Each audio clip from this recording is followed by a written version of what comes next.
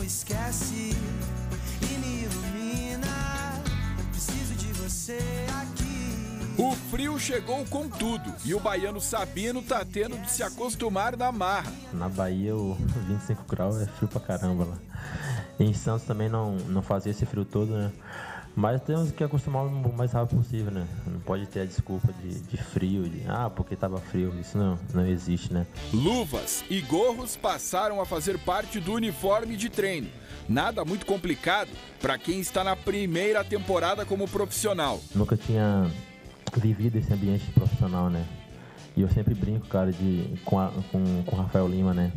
Cara, é uma honra inenarrável poder treinar ao lado dele, do Wilson, do Rodrigão, de pessoas que, que eu via na televisão. Poxa, o Rafael Lima tem 300 acessos aí, né? Entre as lições dos mais experientes, com certeza está a valorizar o momento que o Curitiba vem vivendo com a torcida. Maior média de público disparada na Série B, mais de 34 mil pessoas por jogo. E os preços baratinhos no ingresso vão seguir para os três jogos em casa este mês. Para nós jogadores isso é fundamental, cara. Ter ali um apoio da torcida, né? É, como você falou, provavelmente mais de 30 mil pessoas é importante para o jogador.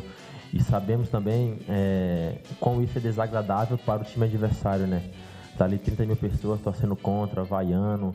Cara, para nós jogadores do Curitiba, ter essa, essa força da torcida é primordial, cara, é importante. E para voltar bem para esse ambiente de Couto Pereira lotado, com promoção, torcida empolgada, é fundamental conseguir um bom resultado na retomada da Série B contra o Criciúma fora de casa.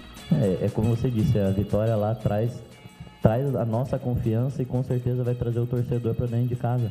Que eles, a gente sabe que eles vão lotar o estádio.